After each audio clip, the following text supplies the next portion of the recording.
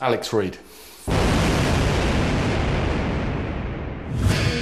Ex Hollyoaks actor and cage fighter Alex Reid became the talk of the tabloids last year when he appeared on the arm of a newly single Katie Price. Suddenly, the headlines were all about him Ladyboys, mucky movies, and, um, Roxanne. Ah! Oh, hang on, that's Katie.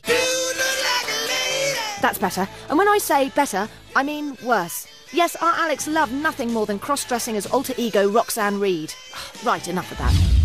Before wrestling with fame, Alex was more used to doling out beatings as mixed martial arts cage fighter the Reidinator. Like Arnie, but with sparklier hot pants.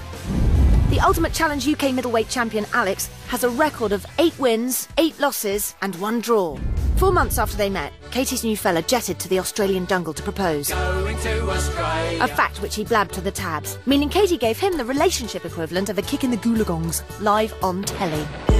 Now, with film and TV projects in the pipeline and Katie by his side again, the Reidinator can't avoid the headlines, most recently for rumours of some dangerous behaviour at New Year's.